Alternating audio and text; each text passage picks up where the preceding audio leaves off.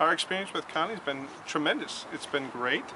We uh, went looking for homes the first day uh, after we put our home on the market, and great thing for us is the very next day it was sold. One Uh, day. one day. Yeah, it took us one day, and uh, you know, of course, that brings us all kinds of different stress. And we went from that Saturday selling our home to finding the right home for us, uh, using again Connie to help us find the home. And uh, by Tuesday, we had an offer that was accepted, and uh, we were home, you know, in the home stretch. It was great, great experience. Yep, thank you.